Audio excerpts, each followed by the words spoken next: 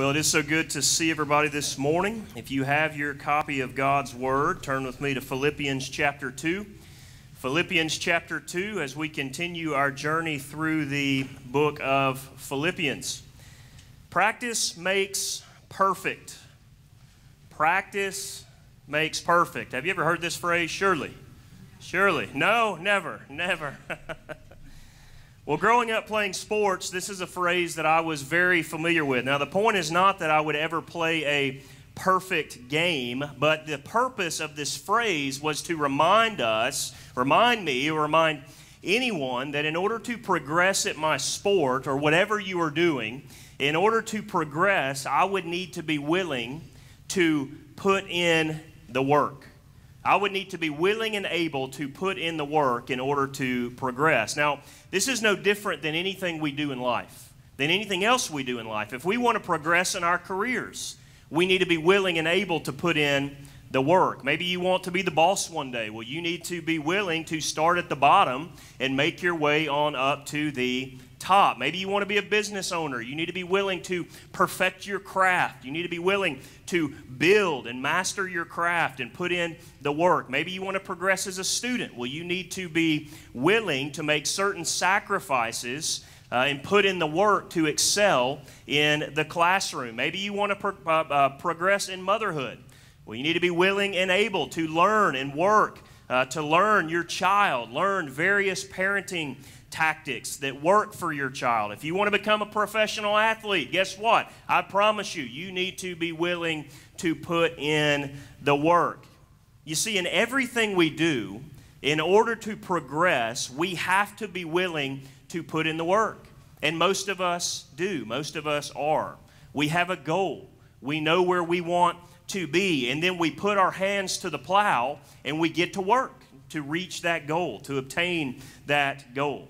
And this is true of most people. Most people are willing to work, to put in the work to achieve their goals, to get better at their craft, and to progress in what they do. However, from my own experience, what I know of myself and what I know of others as, as I have observed others, this type of mentality, this type of mindset, does not always transition over to our spiritual lives.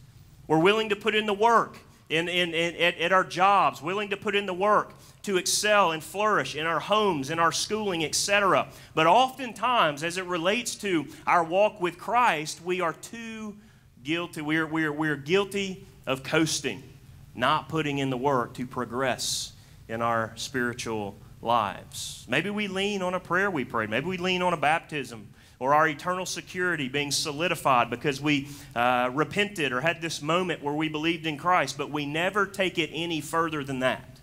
We just leave it there at that moment. We do not always view our spiritual lives as something we can progress at. We don't always view it as something we can work at, we can grow in, we can learn more about, and excel as we do in other areas of our lives. It's almost like we accept our get out of hell free card and then we go nowhere beyond that. We just leave it there where, where it's at. And if we're honest this morning, this is a problem that plagues the American church, the whole church. All, all churches are, are met uh, with this same issue. We fail, if you will, to work out our salvation with fear and trembling as we sit on the sidelines and coast by. We're all guilty of this at different seasons in life, no doubt. But this is not the life that Christ has called you and I to. He's called us to a life beyond that. This isn't just the life He's called us to. If you're a born again, if you're a Christian, Christ did not call you to a life of casual coasting through your spiritual life. You're always, we are always progressing. Christ has called us to a life in which we are always progressing in our spiritual journey. We are always moving forward and we are always growing on our spiritual journeys. He's called us to a life of working out our salvation with fear and trembling. In other words, Christ did not save us to sit, He saved us to work. He did not save us to sit, He saved us to work. You see, we use this language quite often uh, the human life cycle to illustrate our spiritual journeys. And we get this from Scripture. The Apostle Paul, in his writings, he uses the language of infants and of spiritual milk to, uh, in order to characterize certain Christians who are not progressing. But this is not what you and I have been called to. We've been called to so much more than this. We've been called to grow, we've been called to progress and to work out our salvation with fear and trembling for the glory of God and for the betterment of His church. That's what we've been called to do, you and I as Christians. This is what we see in today's text. And this is what we want at the forefront of our minds as we walk through the work of God in these two verses this morning the call to work.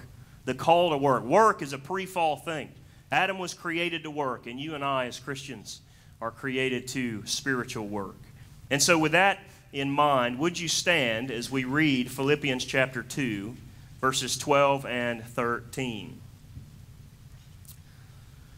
The Word of God reads Therefore, my beloved, as you have always obeyed, so now, not only as in my presence, but much more in my absence, work out your own salvation with fear and trembling. For it is God who works in you, both to will and to work for his good pleasure. Pray with me. Father, we are in your get, been recipients of your grace and mercy because of this time that you've allotted for us. God, we've gathered in the name of Jesus Christ, our Savior. We've gathered to look at your word. We've gathered to worship. We've gathered to sing. We've gathered to know more about you and what you've called us to do. God, we gathered to be changed by your Spirit that is at work within us. And so, God, as we approach your word this morning and what you have called us to as Christians, would you use this for your glory, for our sanctification, molding us more into the image of Christ? We're grateful for your grace and mercy. Speak to us this morning, God. We pray this in Christ's name. Amen. You may be seated. So, the last two Sundays, we spent our time in Philippians 2 1 through 11. And within this section, 1 through 11, we were introduced to the divine and human natures of Jesus, his sacrificial death on behalf of his people, and the state of exaltation in which he ascended to following his resurrection.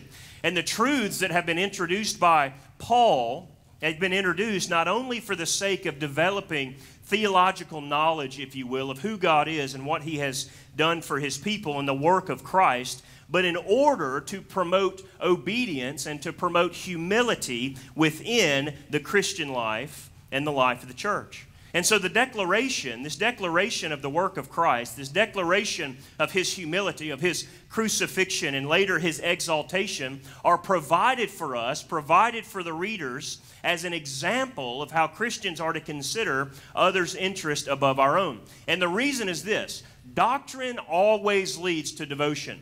Doctrine always leads to practice. Theology, right theology, life transforming theology always leads to practice. It leads to a life living out those truths. And so the truth of God always leads to action, which is what Paul puts forth here in these two verses that we're going to consider today. The truth about Jesus Christ leads to a spiritual walk, a spiritual work, excuse me, his followers are called to pursue, that we're called to work out, that we're called to live.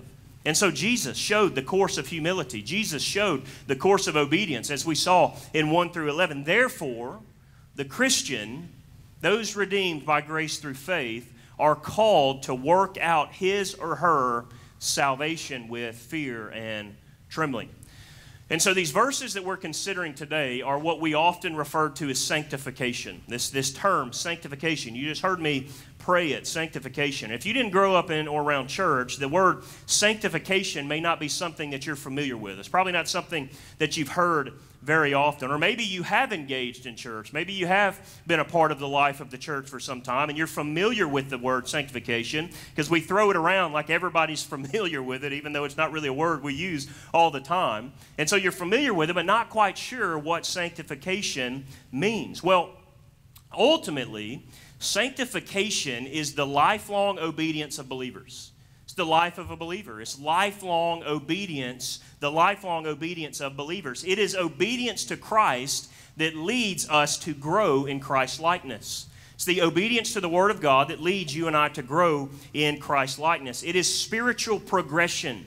It is not remaining an infant in the faith, but progressing in our spiritual journeys and growing up to mature adulthood. It's going from the spiritual milk to the spiritual meat. Learning to crawl. Think about an infant. Think about a baby. This is the language we use. Learning to to move. Learning to, you know, it's always I love it when babies start like like just making noises, you know. They just make noises all the time. It's it's it's it's, it's so soothing, isn't it? It's just so soothing.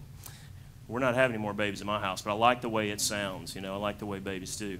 But it's learning that, and then it's learning to go from the milk to the to the, the, the mushy food that real smells funky, but we feed it to kids. You know, it's like, and then it's moving and crawling and walking, and then all the way to mature, mature adulthood, where they can stand on their own two feet, make their own decision, discern the truth of God, and all of these things. And so it's going from the spiritual milk to the spiritual meat. It's developing spiritual maturity as we love and follow Jesus. And so sanctification is about living in light of the grace of the gospel, living out our new identity in Christ and following Scripture. That's sanctification.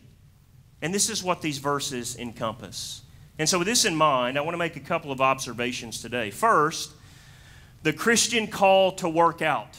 The Christian call to work out. We see this in verse 12. Paul says this Therefore, my beloved, as you have always obeyed, so now, not only as in my presence, but much more in my absence, work out your salvation with fear and trembling. Now, as we look at this verse, as we begin, I think it's important to note that I initially put in my manuscript one of my dad jokes about God calling the Christian to join, join a gym to work out. Get it? Join a spin class, you get it? But the same response you're giving me right now is the response you would have given me if I put it in there, so I left it out. So you're welcome. All right, I typed it in, it wasn't funny. Nonetheless, as indicated already, Christians have been called to a life of work. We've been called to pursue holiness. We've been called to pursue righteousness. We've been called to pursue Christ in all things and in all areas of our lives. You see, what happens is we are all so prone, if we're honest, also prone to compartmentalize our lives to where we take our Christian lives, we put it in this little box. We have our Christian little box here that we pick up and put down whenever we need it, that we pick up and put down whenever we're going to utilize it. When it comes to Sundays or maybe it comes to Wednesdays, we, Wednesdays, we pick up that Christian box and hey, we've got our Christian life here. We're at church. We're doing the Christian thing. We've got our little box and then we put it back on the shelf where it belongs on Monday mornings. And then Sunday comes back around, we pick up that box. Hey, I'm a Christian today. Praise God. One day a week. We love you. And then we take that box and we put it right back on the shelf. However, what we see Paul indicating in this passage is that because you and I are saved by grace through faith in Christ, because we have been gifted salvation, because we are born again, because we are saved, because God has redeemed us, we now have His power at work within us. And because of this, we are to express our salvation in the way that we live every single day. It's not a compartmentalized box, it's everything operates under Christianity because that's who we are. Our identity is now in Christ. It's not in anything this world has to offer. It's not in our jobs. It's not in our families. It's not in any of these things. Our identity is in Christ. And so that identity characterizes everything we do. We work. We are to work out our salvation with fear and trembling. And so Paul begins by commending the Philippians for their continued obedience in the faith. You see, the Philippian church obeyed the words of Paul and his instruction, both in his presence and in his absence. And Paul encourages them for their faithfulness and then exhorts them to continue loving and following Jesus. Now, Paul demonstrates this encouragement before exhortation or before instruction, something I find very helpful. It's always, it's always better and, and, and received much more, uh, uh, very well if you encourage someone before you instruct them. Encourage them for their faith, Paul does, and then he instructs them to work out their own salvation. Now, there might be a few misconceptions about the Christian life that we need to take off the table at this point. Some I've already touched upon, but I'll mention again. First, Paul does not say Because you have now been justified before God because of your salvation, now you passively coast along in your spiritual journey. This is not true salvation. I've already made that point. As true salvation progresses through the years. Second, Paul is not saying work for your salvation.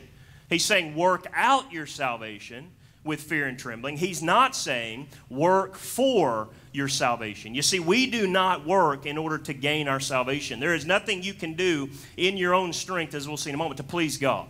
Nothing you can do that God looks at and says, that is good, apart from His work in you.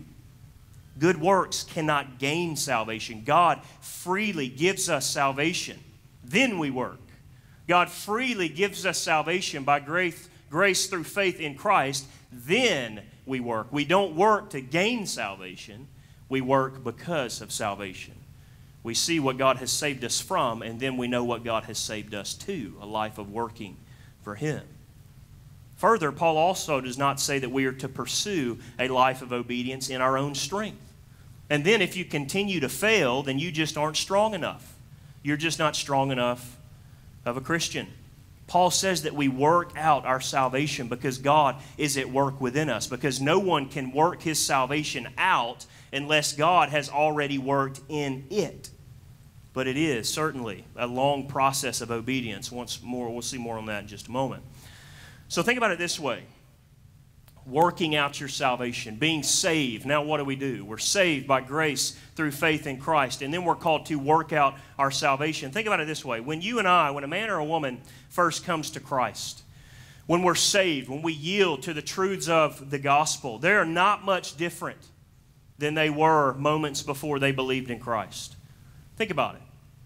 When we first come to Christ, we still have however many years of thinking before that, however many years of developing a worldview, however many years of, of life on our own, if you will, before we come to Christ. Think about that. When we first come to Christ, our worldviews are usually exactly the same. We still have the same problems that we had before coming to Christ. We still have the same misconceptions we had before coming to Christ. We often have the same sins we had before we came to Christ. We sometimes have the same doubts we had as we come to Christ.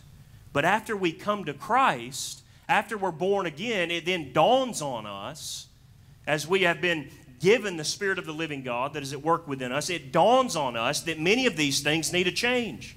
We come to Christ and we look at our life and go, whoa, that doesn't line up with God's Word.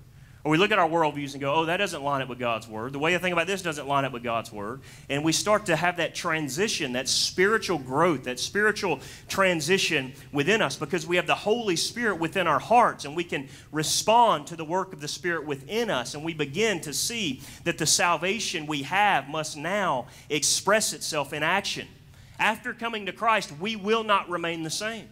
Scripture doesn't say you're born again and then you remain the same as you were before coming to Christ. It's a progress, it's a progression. The Spirit begins to reveal those things. We grow, we progress in the faith. We will not remain the same, and it must be seen distinctly in our conduct as we work out our salvation, as God grows us. We don't remain the same. We don't stay in that life that we had. But it doesn't just happen all of a sudden overnight. You see, we fall into the trap of people come to Christ and then we expect them to act like Billy Graham all of a sudden. We expect their moral character and conduct just to change just like that all of a sudden. But it's a progressive work of the Holy Spirit within someone that grows them and molds them and brings them along. A lifelong progression. Sanctification is lifelong. But here's what we need to know growing in godliness is not about achieving a certain status, nor is it about quick results. You see, we live in a life full of shortcuts. I love a good shortcut, all right? I love going from A to B, and if you can take me around the middle or wherever else, it doesn't matter. You give me a shortcut and I'm on it. You know, we like we like instant gratification, but as it relates to working out our salvation with fear and trembling and progressing in our Christian walk, there are no shortcuts. We know that very well. There are no shortcuts to go from A to B in our Christian journey. There's no shortcuts on this walk. It's a marathon, not a sprint. It's a marathon, it's a long journey, not a sprint. Look, we can name numerous, numerous spiritual giants who are way more mature than us in our faith. We all can. We know people that have been influential in our lives that are that we would say, man, that is what the picture of godliness looks like. We see them through the years and they get older and they've progressed and we see how strong they are. Maybe it's a grandparent or something like that. And you come along later in life and you look at your grandparents, you go, they are so strong in their faith. They are rock solid, man. They are mature. They are, they are what I want to be. I look at them and that's what I want to be in my Christian journey. I want to be where they are. They got rock solid faith. But that didn't happen overnight. That didn't happen overnight. They weren't born again and all of a sudden that's who they are. It didn't happen overnight. It happens through years of walking with Jesus. It happens through years of obedience to Christ. It happens through years of suffering, of pain, of hardship.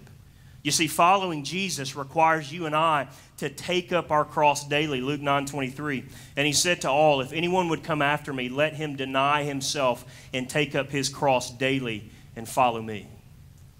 We work out our salvation both privately and corporately by dying to ourselves daily and living to Christ daily, following Christ daily, obediently trusting Christ daily. And this passage also has a corporate aspect as Paul is writing to the church at Philippi. Working out your salvation is a call to unity, a call to harmony within the church. We work out our salvation with brothers and sisters that are like minded working on our salvation daily.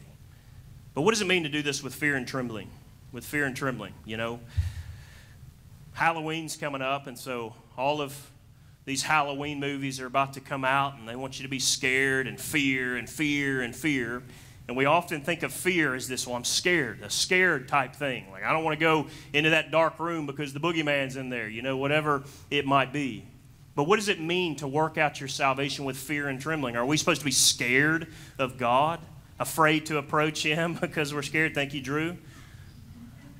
Raising Him up in the way in which He should go. Don't be scared of God. He's always got an answer in all things, so there it is. Thanks, buddy. Threw me off. It's good. Thanks for saying that in church so all these people can hear it, buddy. You know, they think I'm raising you right, you know.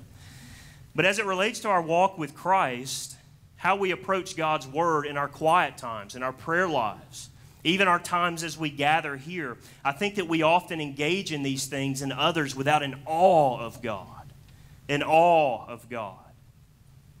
We are often lacking in our awe of God. I know I am. You know, I approach the Word and I don't necessarily approach with fear and trembling. I don't necessarily approach, I mean, if I'm honest with myself, most times in awe of what we're doing here, of what God has given us and what He's shown us about Himself and His work through history? Do we approach the Bible with a sense of wonder, with a sense of awe at who God is and what God has done for us through Christ? And so, working out our salvation with fear and trembling implies that Christians should live and marvel in awe of God. It's been easy for us the last few days to walk outside and be in awe of God with this beautiful weather we've had, as good as it's felt. It draws us to awe, to marvel at the grace and mercy of God. But as Christians, we should live in humility before God. We should live in submission to His will. And we are to obediently follow Christ through the Word because of who God is. Because we awe at who He is the creator, the sustainer of all things, the one who holds the entire universe in his hands. We do not live terrified of God as he is our refuge and strength, but we live in awe of who he is.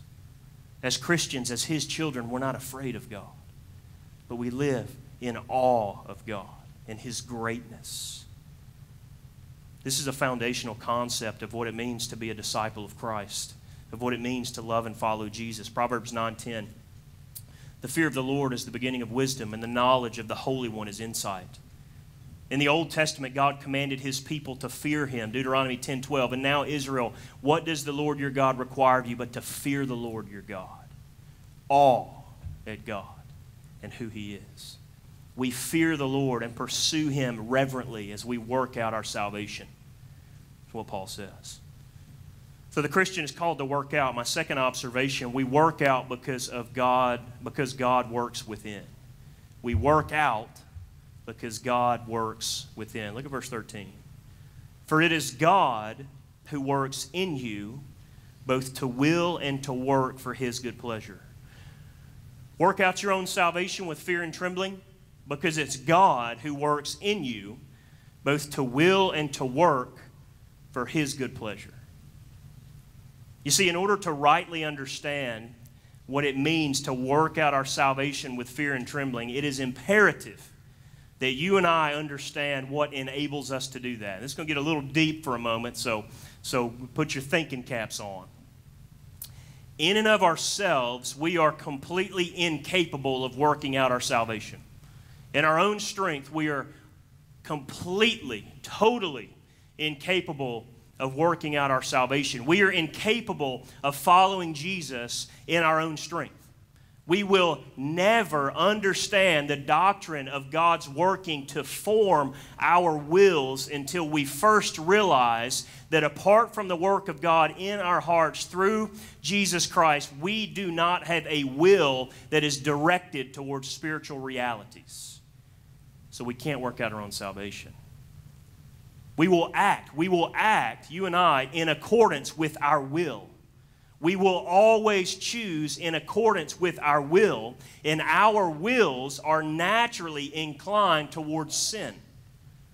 Our wills are inclined toward sin. We do not have the freedom to pursue these spiritual things because our wills are not naturally inclined toward God. They're naturally inclined toward sin. Paul says in Romans 3 10 and 11, None is righteous, no, not one. No one understands, no one seeks for God. All have turned aside. Together they have become worthless. No one does good, not even one. And the reason Paul says this is because we are born, all of humanity, we are born dead in our trespasses and sins, which means our wills are inclined towards sin and not toward God. Adam sinned in the Garden of Eden. And when Adam sinned, sin entered the world, and all men were born with the same inability to pursue spiritual things apart from the supernatural work of the Holy Spirit. In the fall, man lost their will inclined toward God, and in exchange received a will inclined toward sin, and only sin. But through Christ, God changes our wills. And so we'll always act in accordance with our will. And apart from the supernatural work of the Holy Spirit within our lives, we would never choose the things of God. So, through the Spirit, through the Holy Spirit, God changes our wills and inclines them toward the things of God.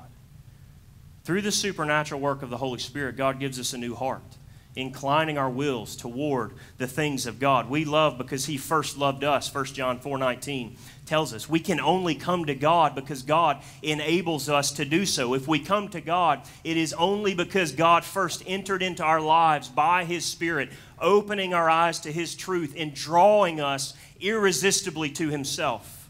That's what we celebrated this morning through baptism. In doing so, He changes our wills, and God inclines them toward Him so that we will work out our salvation with fear and trembling. Because God is at work within us, Paul says, we can work out our salvation. Because we've been given a will in accordance with God's will to will and work for His good pleasure. Our will has now been directed toward the things of God, and we can work out our salvation with fear and trembling. But the point of all of this is that we only work because God has worked and because God is working within us.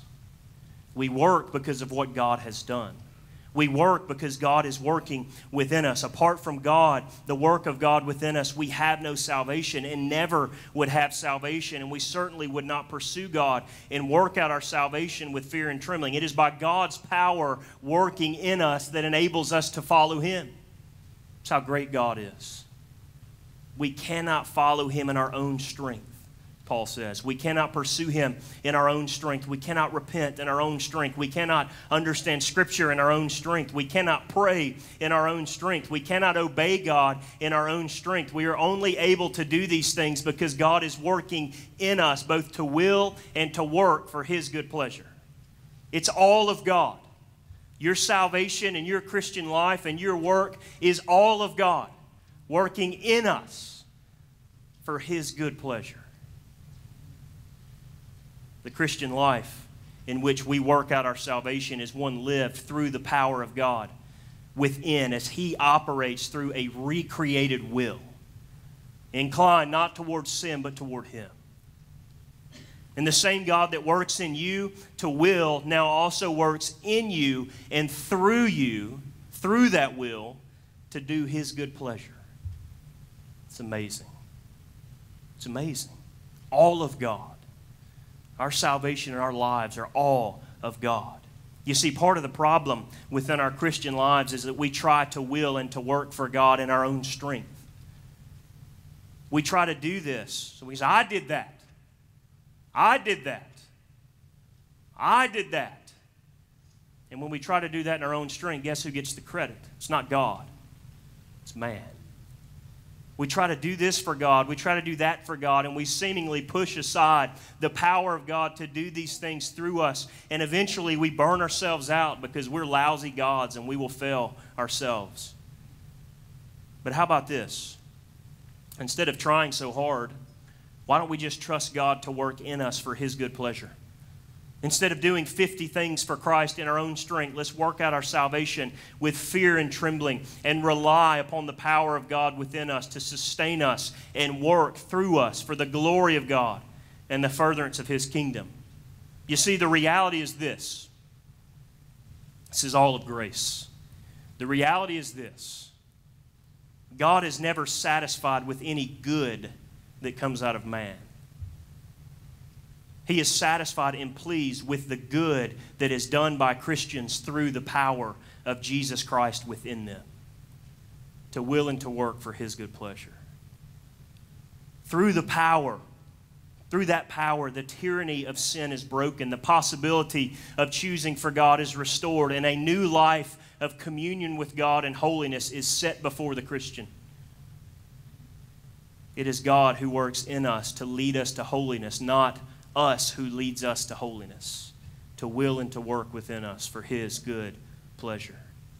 And that's what's so good about it. God takes pleasure working in us by His power, it brings Him pleasure to work in us. The power of Christ within is a wonderful reality for us as Christians. We boast not in man, but we boast in God. In Him we have all things, and we are enabled to work out our salvation. It's an amazing concept. So, all of this talk about working out our salvation with fear and trembling. But what does that look like?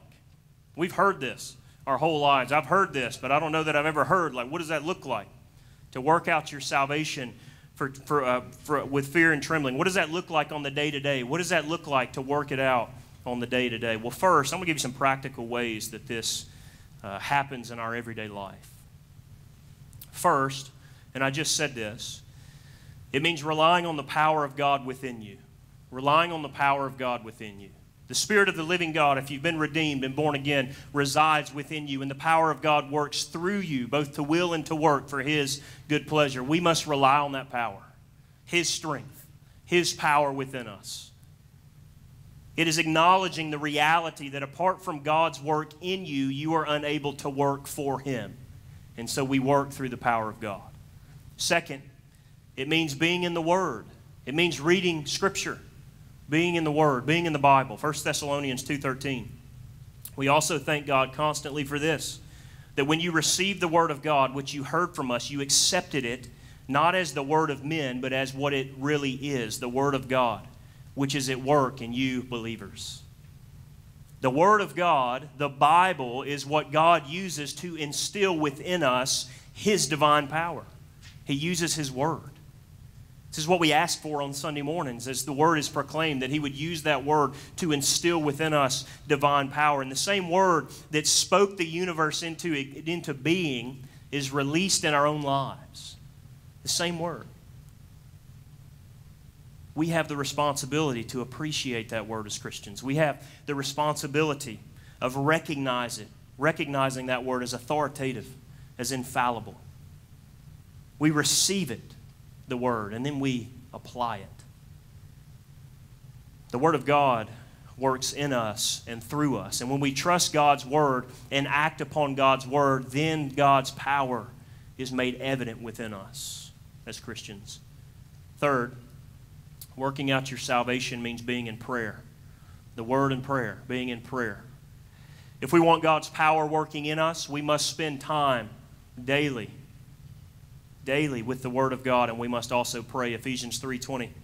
Now to him who is able to do far more abundantly than all that we ask or think according to the power at work within us. You see, the Holy Spirit is closely related to the practice of prayer in our lives. And as Christians, if we want God to work within us, we must be taking time to pray. Whatever that looks like, it looks different for all of us. Some people have more time that they can spend in, in, in, in, quiet prayer. Others are, are praying here and praying there and praying driving down the road and praying at work, whatever. Whatever that looks like for us. And it is different for all of us. We must be taking time to pray, not only to ask God of things, not only to ask that God do great things, but just to commune with Him and to praise Him for who He is, to conversate with the Creator through the power of the Holy Spirit. Fourth, it means regularly gathering with the church. You see, Paul is writing to a church, and all of his instruction thus far has been directed at Christians living in relationship with each other. We engage with one another. We work out our salvation by serving each other. We've seen that all the way up to this point. To consider others' interest above our own, to spur one another on to love and good works, Hebrews 10 24 and 25. Fifth, we work out our salvation with fear and trembling through suffering suffering. This life is a life filled with suffering. Some of us are suffering now. Some have suffered greatly in the past. A lot of suffering may await some of us in our future. We have or will experience suffering in this life, and it comes with the territory of living in fallen creation. And the Spirit of God works in a special way in the lives of those who suffer for the glory of Christ, for the glory of God. That's our study on Wednesday nights right now in our adult Bible study. We're studying what it looks like to suffer for the glory of God. We know that God used suffering in Paul's life for the glory of Christ. Think about Acts 16, Philippian jailer. These fiery trials we face are drawing out impurities within us, and God uses them to mold us more into the image of Christ. 1 Peter 1 is very clear. These are the tools that God has graced us with to enable us to work out our salvation with fear and trembling as the people of God. And you and I, we've been saved from the wrath of God through Jesus Christ dying on the cross as our substitute so that we, when we repent and believe in Christ, we are, we are adopted into the family of God by the work of His Spirit within our lives. And since we've been saved from the wrath of God, we've been saved to a life of working for God of serving God. Ephesians 2:10, very clear.